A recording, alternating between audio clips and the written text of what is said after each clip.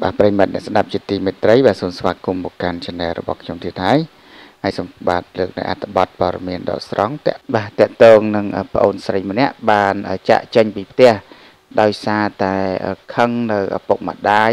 ស្ដីឲ្យបន្តិចបន្តួច បែរជាមានគំនិតខ្លីបែបនេះទៅវិញ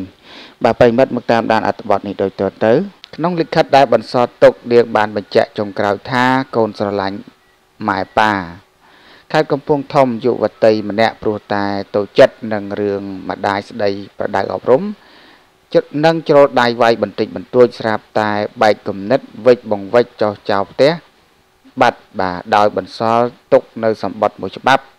បង្ហាញនៅអត្តន័យសំទោសឪពុកព្រមទាំងបញ្ជាក់យ៉ាងច្បាស់ថានាងនឹងមិនវិលត្រឡប់មកផ្ទះវិញនោះទេ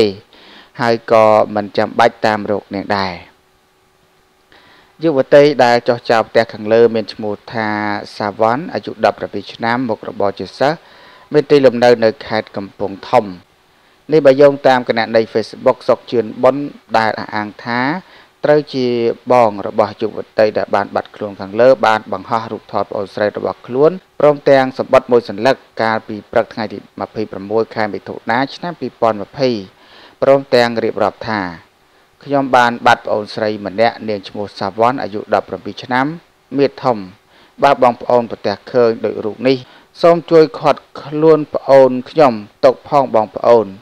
ហើយជួយតាក់ទងមកលេខខ្ញុំបាទ097 48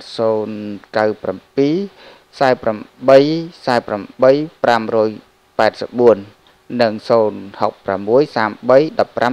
1501អរគុណបងប្អូនទុកជាមុនណា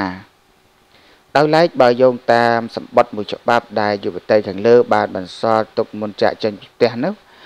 នៅមានខ្លឹមសារទាំងស្រុងថា កូនសំទោសម៉ែប៉ា